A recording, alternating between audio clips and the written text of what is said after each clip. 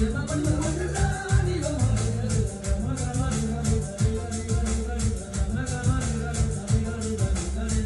ਸੁਣੀ ਉਸਤਾਦ ਨੁਸਰਤ ਫਤਿਹ ਅਲੀ ਖਾਨ ਸਾਹਿਬ ਦੇ ਗਾਣੇ ਇਸ਼ਕ ਕਾ ਰੁਤਬਾ ਦੇ ਵਿੱਚ ਲੱਗੀ ਹੋਈ ਸਰਗਮ।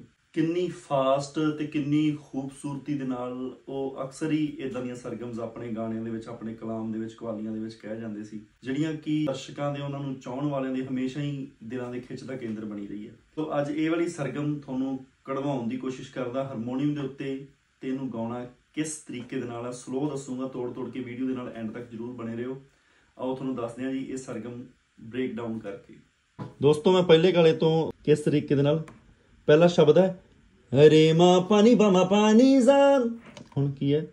ਰੇ ਮਾ ਪਾਣੀ ਬਾ ਮਾ ਪਾਣੀ ਜਾਨ। ਉਸ ਤੋਂ ਬਾਅਦ ਕੀ ਹੈ? ਸਾਨੀ ਪਾ ਮਾ ਰੇ ਰੇ ਰੇ ਸਾ ਨੈਕਸਟ ਪਾਰਟ ਕੀ ਹੈ ਸਾ ਮਾ ਗਾ ਮਾ ਰੇ ਗਾ ਰੇ ਸਾ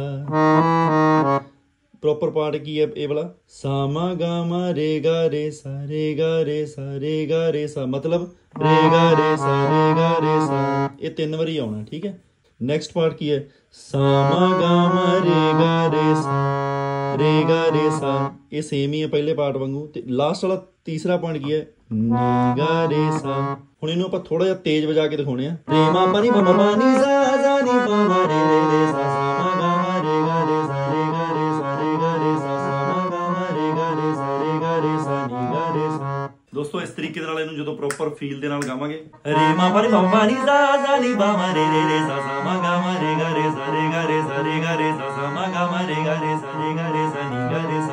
ਸਮਝ ਸਕੇ ਨਾ ਸਮਝ ਸਕੇ ਨਾ ਸਮਝ ਸਕੇ ਨਾ ਲੋਗ ਸਿਆਣੇ ਇਸ਼ਕ ਦਰਦ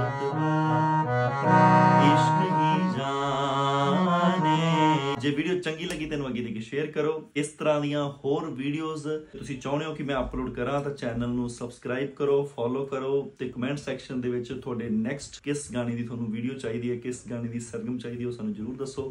ਤੁਹਾਡਾ ਸਾਰਿਆਂ ਦਾ ਬਹੁਤ ਬਹੁਤ ਧੰਨਵਾਦ।